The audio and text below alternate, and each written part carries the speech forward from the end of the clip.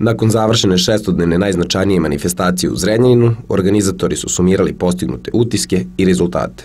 Mogu da kažem da su ovi 31. dani piva uspeli. Pre svega uh, uspeli smo šest dana da uh, napravimo takav intenzitet i nastupa i poseta i raznoraznih manifestacija da smo praktično oborili sve rekorde, da skoro, pola miliona uh, E, ljudi je posetilo ovu manifestaciju, naš grad i veoma smo ponosni na to. Manifestacija je praktično samoodrživa i e, ja sam to i vama rekao na, na konferenciji za štampu. E, nismo još uspeli da saberemo i oduzmemo sve, ali otprilike iz zakupa štandova, tezgi i tih prihoda uspeli smo da isplatimo izvođače.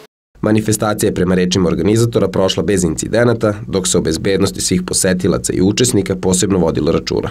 Skoro pola miliona ljudi je posetilo dane piva prethodne nedelje u Zrenjaninu.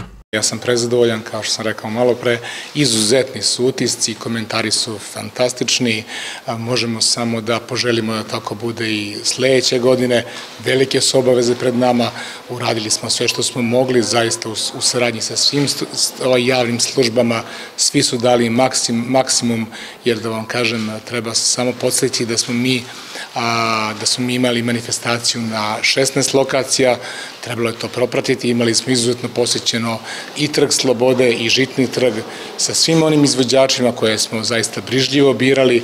Kad vam kažem da su izvođači zadovoljni, da su posetioci zadovoljni, da su organizatori zadovoljni, da su novinari zadovoljni, onda, onda mogu da kažem da su to zaista bili jedni jako dobri dani piva i da smo poslali izuzetno dobru sliku u svet. Dani piva su postali samo drživa manifestacija, jer su troškovi svih izvođača pokriveni izdavanjem štandova na manifestaciji zašto je izdvojeno oko 12 miliona dinara bez PDV-a. Najbitnije je da su prelepi prizori poslati iz našeg grada po 31. put, da su svi zadovoljni i da je sve proteklo u najboljem redu.